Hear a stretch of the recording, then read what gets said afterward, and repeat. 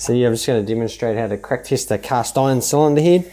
Um, I can actually see the cracks visibly in these, so they're quite obvious. So I've decarbed where they're cracked, and then this magnetizes the area that you're going to crack test. So you can't see any cracks there now. Come around here, once I put my Magnaflux on there, see the crack that's set, lights up like a Christmas tree? That's the crack straight between the valves. When they're real bad, you'll see it without crack testing. But when they're not, it's obviously this stuff just brings it out and shows you where it's obviously cracked. And um, yeah, crack testing a cast iron cylinder head.